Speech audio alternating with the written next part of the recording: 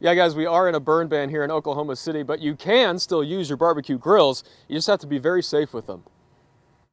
The little bit of rain that we've got today is just not near enough for us to climb out of this burn ban yet. A friendly reminder from OKC Fire. The city and Oklahoma County are in a burn ban this weekend, and that comes with rules, even if you have permits. If you do have a brush pile, a burn pile that you're needing to burn, and you do have a burn permit, you cannot do that while we're in a burn ban. If you're cooking for the Red River rivalry, you can still fire up the grill. Just be smart about it. We understand it's football season. People like to grill outdoors.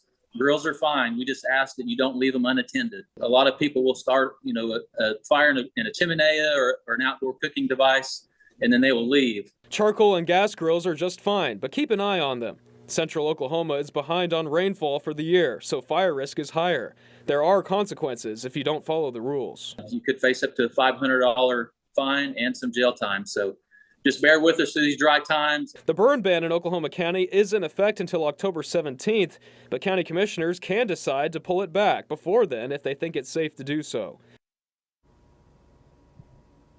And that burn ban was put in place on Monday earlier this week.